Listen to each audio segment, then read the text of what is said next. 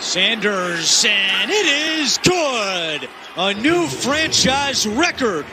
He's made 20 in a row.